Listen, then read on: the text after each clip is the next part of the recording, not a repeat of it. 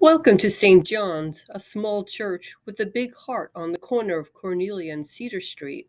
Some facts. We've been around since 1856, maybe longer. We have three Tiffany windows, the largest behind the altar. We only have 12 rows of pews. We are small. You can learn more at stjohnsboonton.org.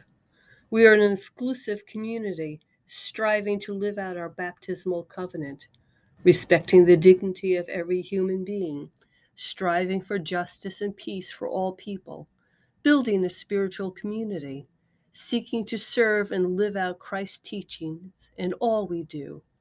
Community is an important part of what it means to be a parishioner at St. John's through our local programs and participation in local events.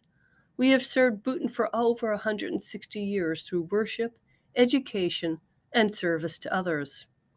Along with other churches and organizations, we are providing housing and support and friendship to a refugee family from Afghanistan. We are renovating the former rectory to provide housing for other families. You can find us on Facebook, Instagram, and YouTube. Come visit us on Sunday mornings at 10 a.m.